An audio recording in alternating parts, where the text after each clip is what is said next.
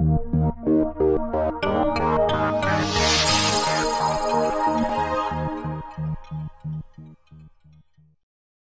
past review confirmed the ethnic makeup of applicants to Windsor Police and officers, especially in the higher ranks, isn't reflective of the community. When you talk about their community or that community, instead of saying a segment of our community, right away you're setting people apart. A new three year project could address that. Now the work begins. Begins. The initiative with the Ontario Human Rights Commission will examine policies and procedures.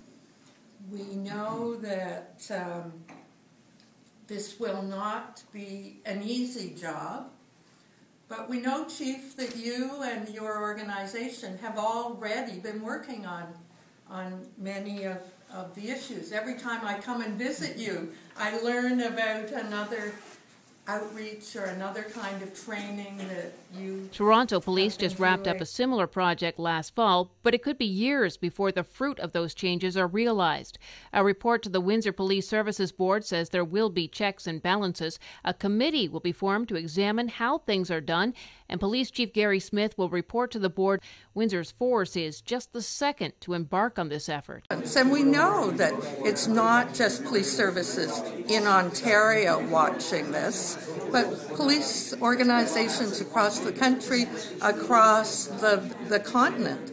So uh, Toronto and Windsor are real leaders in policing in that respect.